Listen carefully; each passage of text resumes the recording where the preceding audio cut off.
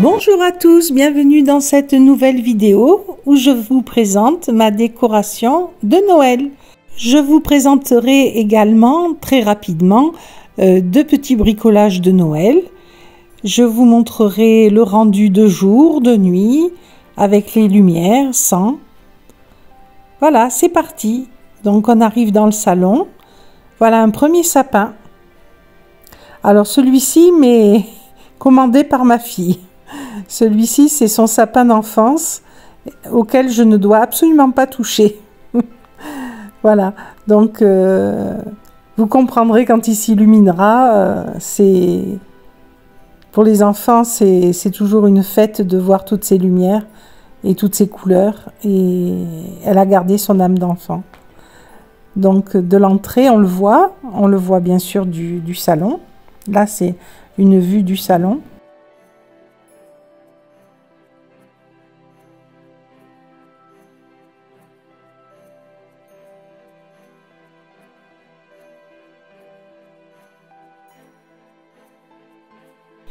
J'ai sorti les plaids d'hiver en fausse fourrure sur lesquels se régalent mes chats. Ces plaids et coussins, je les ai trouvés chez Action il y a deux ou trois ans. Euh, je ne les ai pas vus depuis. Ils n'ont peut-être pas renouvelé. Euh, je les sors euh, à l'occasion des fêtes uniquement, donc ils sont restés en bon état. Ici, je vous montre le rendu de nuit. Alors, forcément, Dès que le, soir tombe, le canapé est davantage squatté. On a Sam d'un côté, Mary de l'autre. Et Poupie n'est pas bien loin, vous allez voir.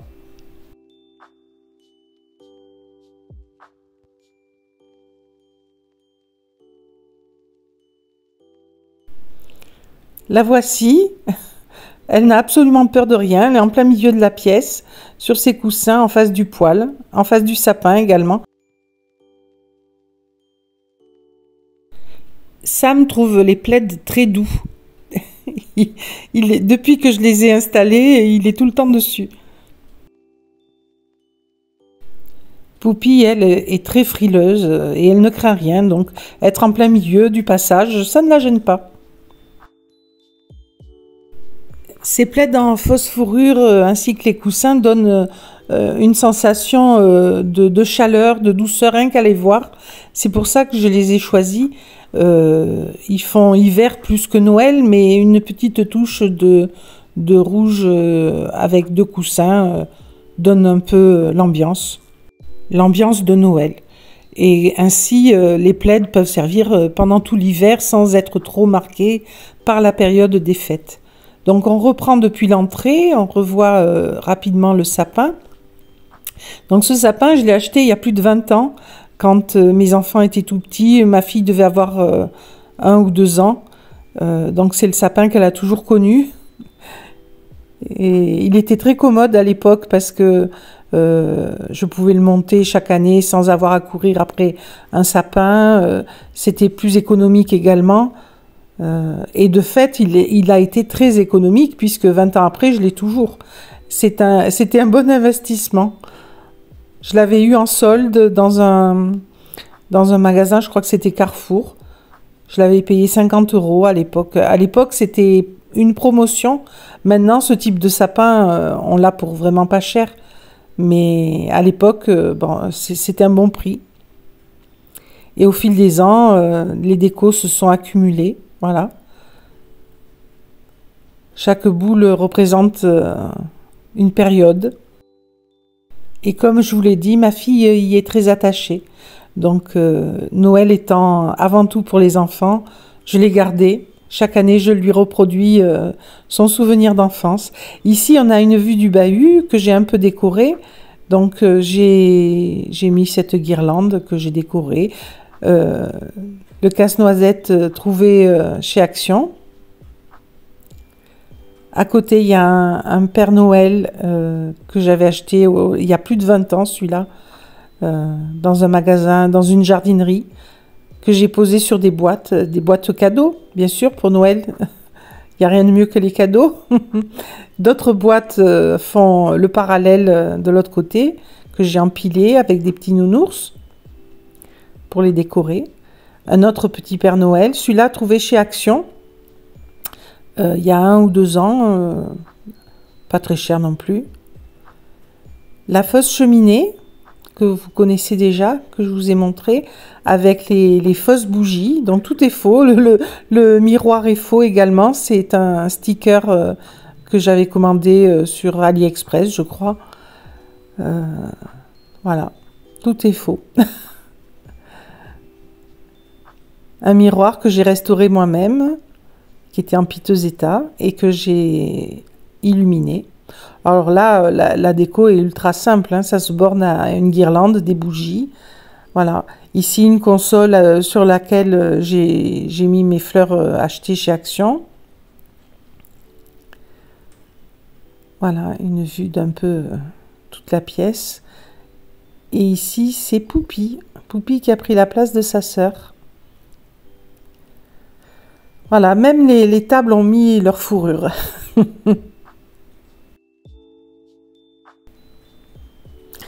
Les paniers des chats aussi.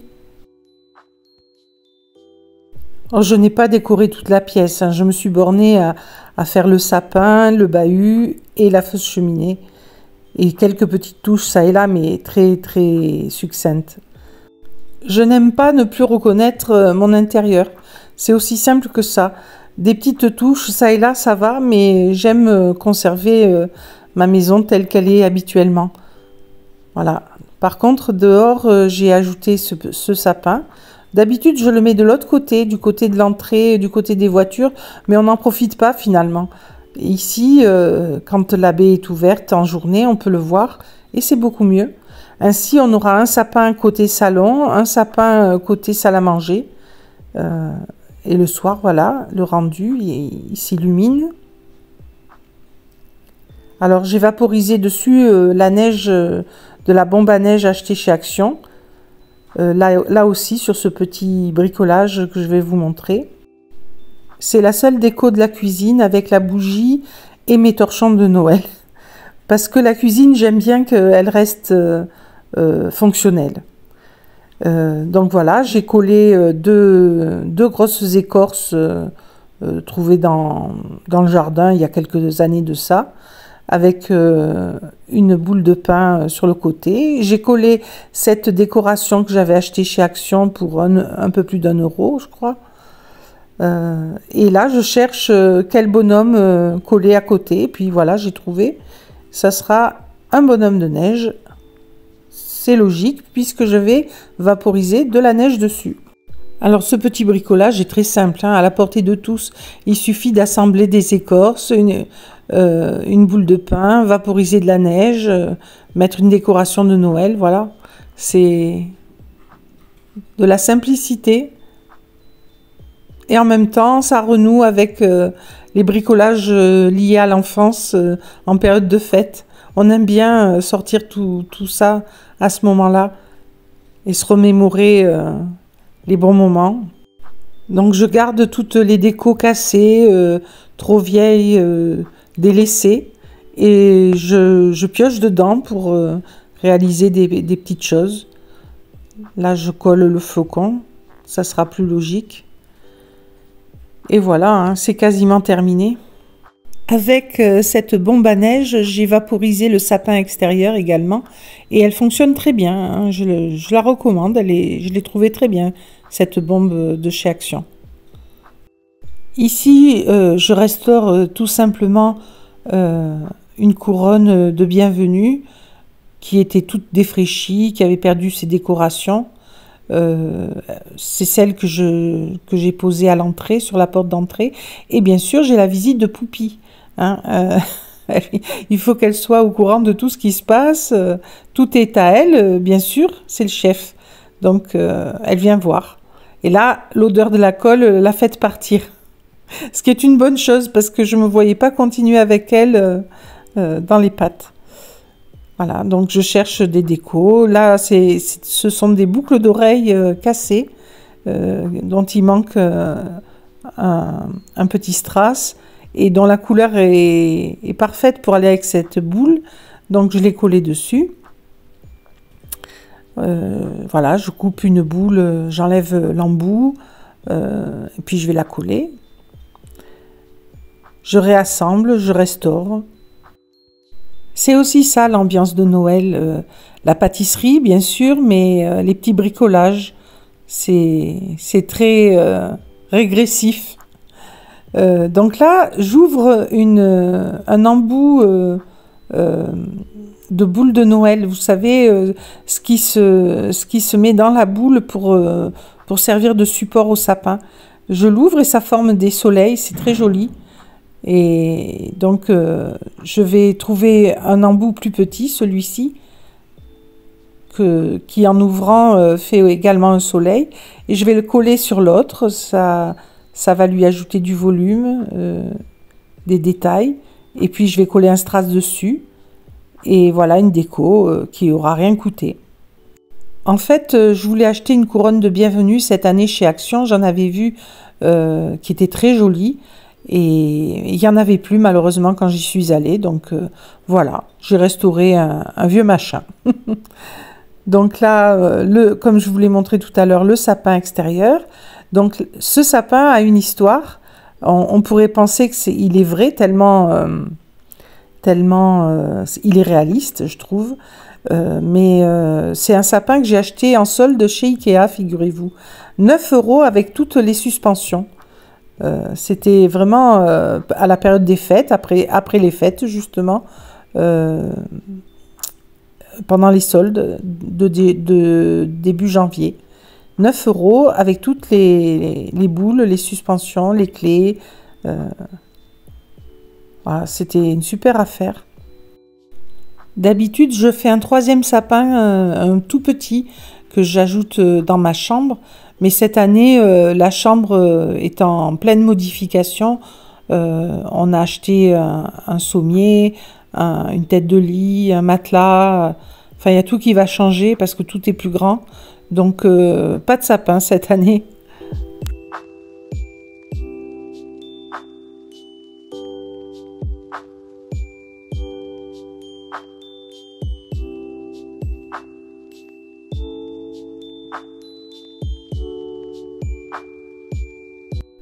Et pendant tout ce temps, Mary fait la présentatrice du, sapin. Et pour ceux qui le craindraient, euh, ne vous inquiétez pas, elle ne le fera pas tomber. Euh, Mary a 11 ans, elle a l'habitude des sapins, elle sait que euh, c'est pas bien intéressant pour elle. Elle est juste venue voir un peu ce que j'avais fait, mais en fait, elle s'en fiche. Et voilà le rendu de nuit. Alors je vais encore changer des choses au niveau du pied. Euh, là, j'ai juste posé des housses de coussin pour le, camoufler, mais j'ai des guirlandes euh, en faux sapin que je vais mettre tout autour euh, pour améliorer un peu le rendu.